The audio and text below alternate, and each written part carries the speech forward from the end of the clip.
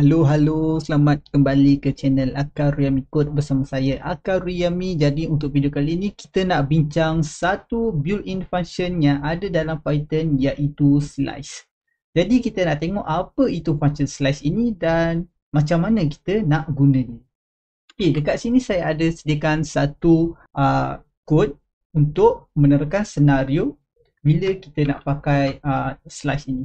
Jadi dekat sini kita ada satu secret Okay.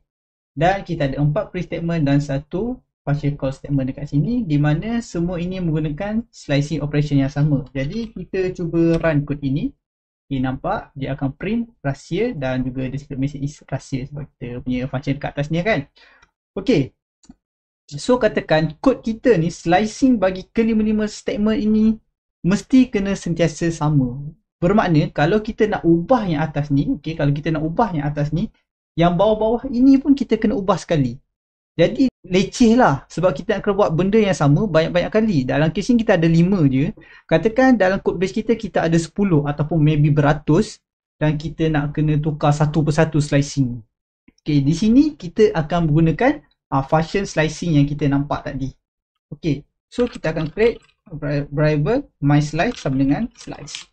Kalau kita tengok dekat documentation sini, okay, slice ni dia sama je macam slicing dalam bracket peta tu. Dia ada yang stop, dia ada start stop dan start stop dan juga step. Untuk kes ini kita ada ketiga-tiga.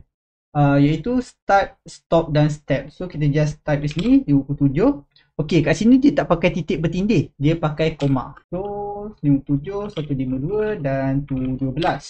Okay macam itu dan kita akan tukarlah benda ini kepada variable mySlice yang kita baru create tadi.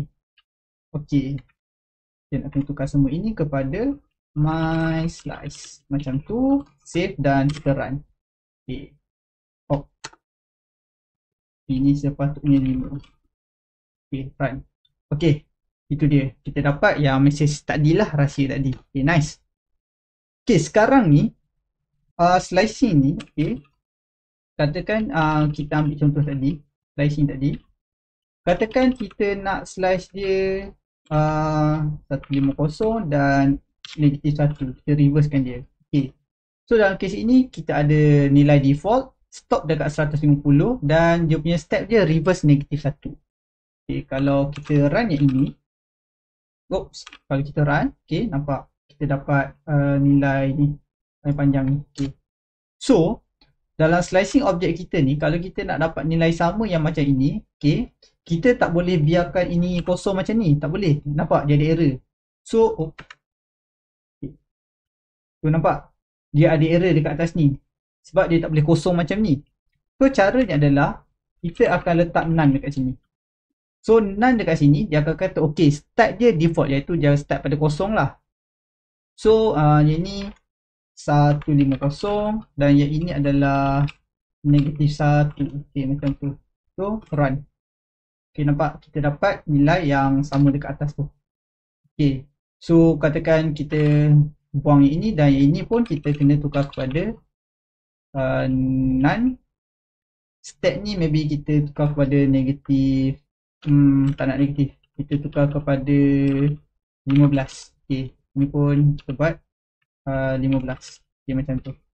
Ok kalau kita run okay, kita dapat uh, samalah ok so uh, statement ini ok uh, apa titik bertindih titik bertindih 15 ni dia equivalent dengan slice non non 15 ok um, kita padam ini.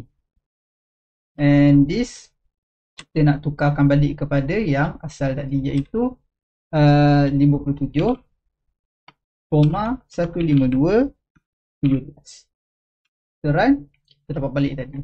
So uh, kegunaan dia adalah macam saya cakap tadi instead of kita tukar satu persatu nilai dalam semua benda ni kita just tukar dekat atas ni je. Ok kalau kita tak nak benda ni kita nak tukar benda lain. So sekarang ni kita tukar kepada 3 196 dan 12 save dan print. Sekarang kita dah berjaya menurunkan ke semua slice ini bagi kelima statement kita ini. Okey, harap korang tahu macam mana nak guna slice ini, tahu bila nak pakai dia dan faham berkaitan dengan built-in function slice ini. Okey, sekian saja daripada saya. Semoga kita berjumpa lagi.